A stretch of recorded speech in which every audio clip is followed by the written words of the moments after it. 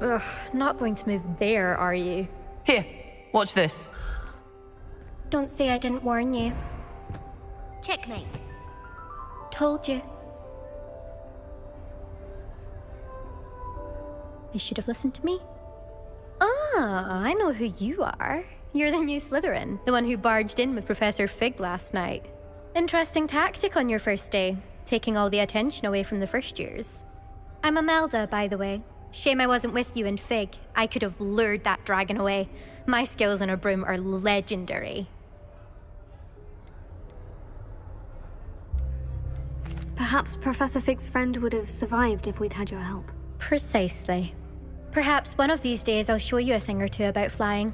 I can teach you more than Kogawa ever could. Speaking of which, I'd like to get in some time on my broom before classes.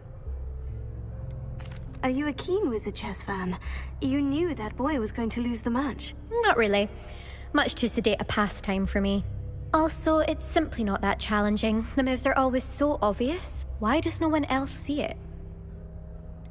Do you have a lot of time to fly during school? I make the time. There's nothing like swerving through the spires of the castle and around the Quidditch pitch to clear the mind.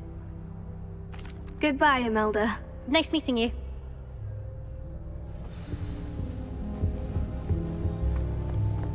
That is not helpful.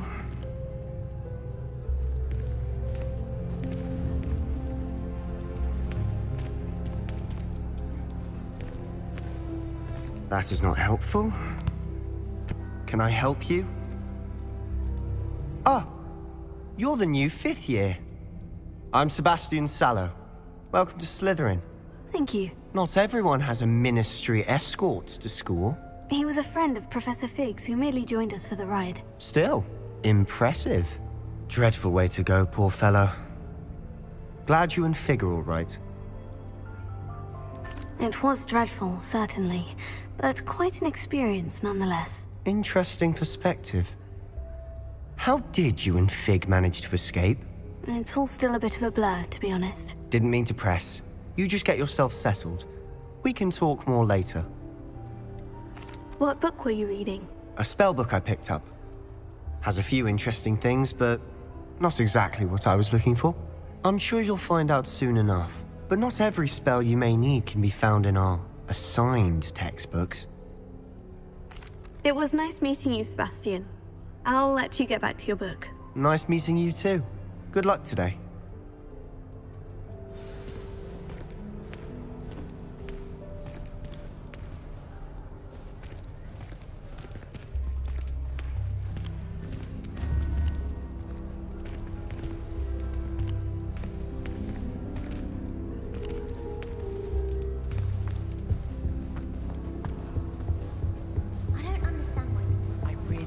Really hope we get to see, or at least hear one today. I I think I heard one. Doubt mermaids find us that interesting.